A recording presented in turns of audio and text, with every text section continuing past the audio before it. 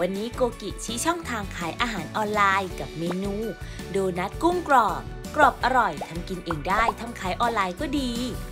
ใส่เนื้อกุ้งสับลงในภาชนะตามด้วยมันหมูบด เทแป้งทอดกรอบ Hot and Spicy 2 in 1 กระเทียมพริกไทยตราโกกิ และเครื่องปรุงรสกระเทียมพริกไทย ในซอง เติมน้ำมันงาและไข่ขาว นวดผสมให้เข้ากันจนกระทั่งส่วนผสมเหนียว ตักส่วนผสมมันกุ้งลงบนฝ่ามือ กดลงตรงกลางให้เป็นรูเหมือนกับโดนัท จุ่มลงในไข่ไก่ที่ตีพอแตก ตักขึ้นคลุกกับเกล็ดขนมปังชุบทอดราโกกิให้ทั่วเรียมไว้ค่ะนำลงทอดในหม้อทอดไร้น้ำมันที่อุณหภูมิ 150 องศาเซลเซียส นาน 20-25 นาที หรือจนกระทั่งสุกกรอบ จัดโดนัทกุ้งกรอบใส่ภาชนะ ตกแต่งด้วยช่อพาสลีย์รับประทานคู่กับน้ำจิ้มบวยเจีย พร้อมเสิร์ฟแล้วค่ะกับเมนู โดนัทกุ้งกรอบทำกินเองได้ทำขายออนไลน์ก็ดี